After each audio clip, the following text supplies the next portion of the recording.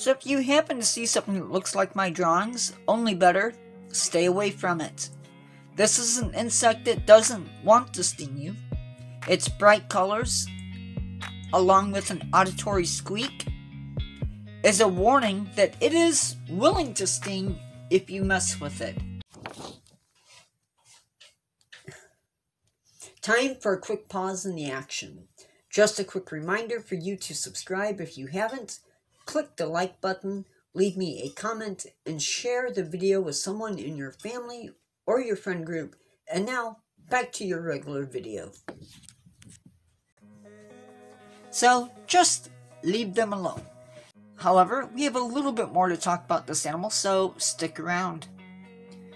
On a pain scale, the velvet ant scores somewhere around 3.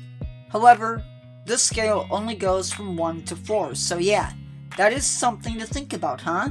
By the way, that stinger can be half of an inch in size, and it's time for me to say, see you in the next one. Yes, I know, my drawings are pretty bad, except especially that stinger.